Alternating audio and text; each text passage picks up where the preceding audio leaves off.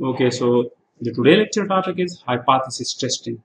So as you people know that until now we have just covered the portion of descriptive statistics. As in the start of this course, I have already discussed in great detail that there will be two type of statistics. One is descriptive and one is inferential statistics. So hypothesis testing is basically a part of inferential statistics.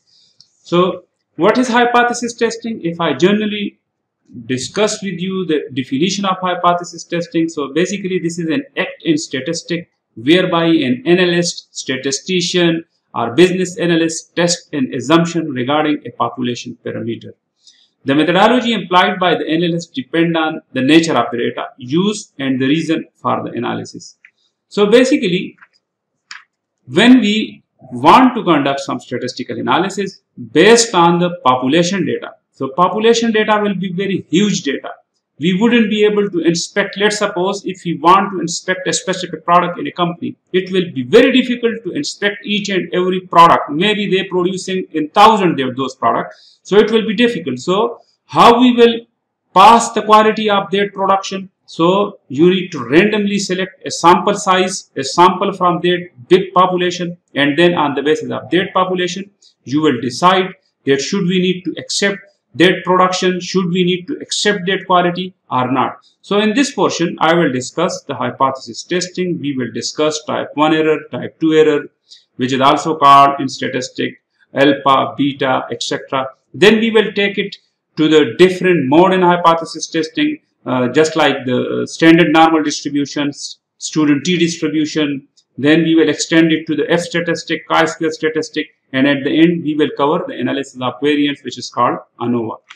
So starting from the hypothesis testing logic, hypothesis testing is one of the most commonly used inferential procedures. So as I already mentioned that this is an inferential statistic type a statistical method that uses sample data to evaluate the validity of hypothesis about a population parameter. So as I already mentioned, that means we wouldn't be able to inspect, we wouldn't be able to check each and every part of that population which is very big, which is very huge.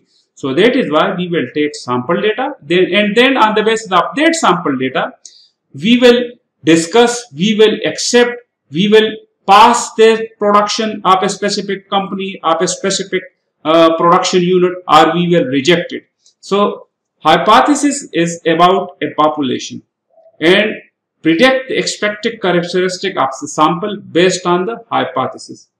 So basically what we will do, we will take a random sample from a population and then we will expect those characteristics and on the basis of those attributes and those expected characteristics, we will uh, discuss the results on the population. So it compared the obtained sample data with the prediction made from the hypothesis. If it is consistent, then the hypothesis is reasonable. If it is not, hypothesis will be rejected. So just want to give you a simple example. Please note this example. For example, a person want to test that a coin or a penny has exactly a 50% chance of landing on head. So basically a coin have two possible outcome. One is head or one is tail. So now the person has exactly uh, uh, say that there is a 50% chance then when I flip this coin 50% chance will be that it will be the number appear, the, the shape appear on the coin or the penny will be ahead.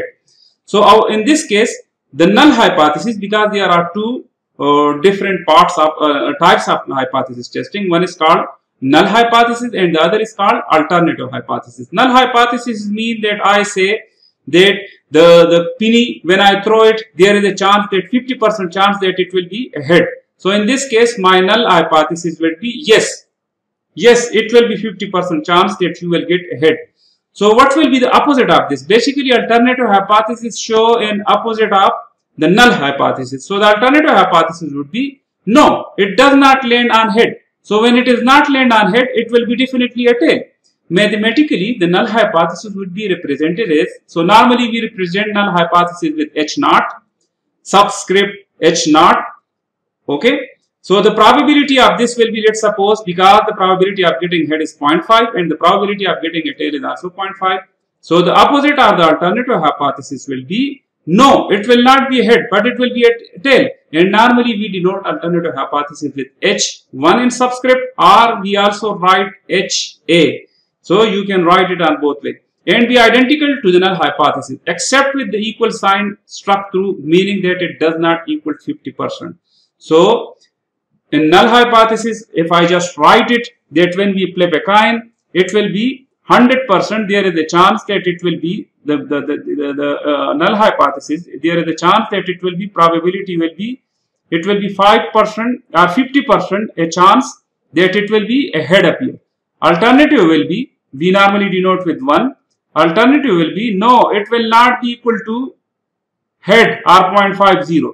So if it is not 0.50, maybe it will be 40% when you throw 100% a coin. Uh, so there will be a chance that 40 times you will get only a head. So the remaining will be 60% uh, time will that you will get a tail. So at this way we will interpret the hypothesis. Let's suppose a random sample of 100 coin flip is taken and the null hypothesis is then tested. If it is found that the 100 coin flip were distributed as 40 head and 60 tails. So let's suppose we coin, we random sample because they claim that there is a chance that 50% you will get head and 50% you will get tail. But now in a sample we just want to conduct it is the claim is right or wrong. So we just take a random sample of 100 coin flip. So 100 times we toss the coin and the null hypothesis is tested. If, if it is found that the 100 coin flip were distributed as 40 head and 60 tail, the analysis uh, would assume that a penny does not have a 50% chance of landing. So in this case, our null hypothesis is not 50% and would reject the null hypothesis. So what we will do? Because we found that only 40% ahead appear. So we will reject our null hypothesis and accept our null hypothesis. So we will accept this null hypothesis. If on the other hand, there were 44, 48 head and 52 tails, then it is plausible that the coin could be fair and still produce such a result. In case such as this were the null hypothesis accepted, the analyst, analyst or the, the person who doing this job state that the difference between the expected results 50 head and 50 tail and the observed result 48 head and 52 tail is explained by the chance elan. So at this way, basically this is just a simple example which I share with you. So at this way, you will interpret what is null hypothesis and what is alternative hypothesis. Why we need this hypothesis testing? So this is very interesting question. What is the purpose? Why we need to conduct this hypothesis testing? So the purpose of hypothesis testing is to determine whether there is enough statistical evidence in favor of certain belief or hypothesis about a parameter. For example, that most of the people not believing that the COVID-19 is a real pandemic. Let's suppose this is just the general perception about the population of Pakistan, let's suppose.